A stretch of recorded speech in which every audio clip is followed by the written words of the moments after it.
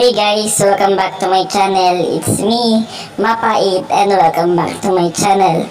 For today's video, ituturo ko sa inyo on how to download Cane Master without watermark.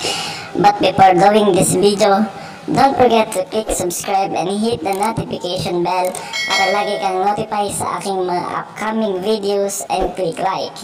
Chrome. Punta tayo sa Chrome.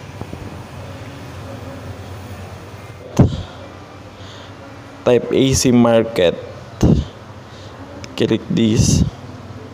Yan, i-click natin tong ah, AC Market Crack Apps Games and ah, for Androids. Yan, then click download now.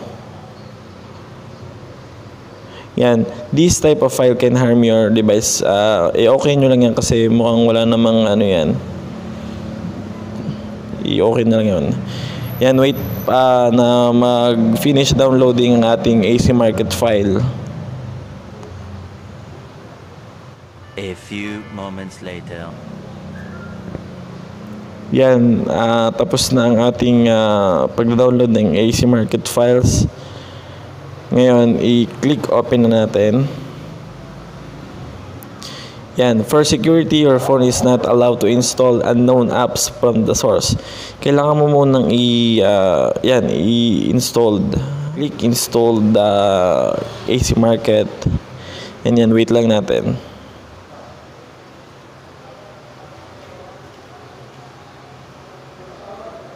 Yan, app installed. I-open na natin.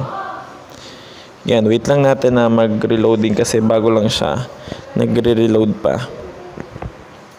A few moments later. Yan, then please allow. I-okay natin yan. Allow. And allow. Yan sa taas, sa searching box. I-search natin ang...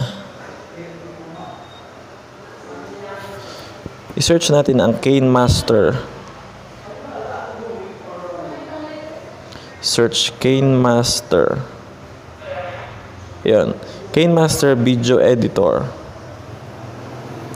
Yan, after that, yan, click mo yung, ano, pipili ka ng version. Then, click mo yung ah, 4.8. Yan, kahit naman anong pili mo di yan. Pero pili natin itong mataas, yung 4.11.16 version. Yan, then click download. Pre-download.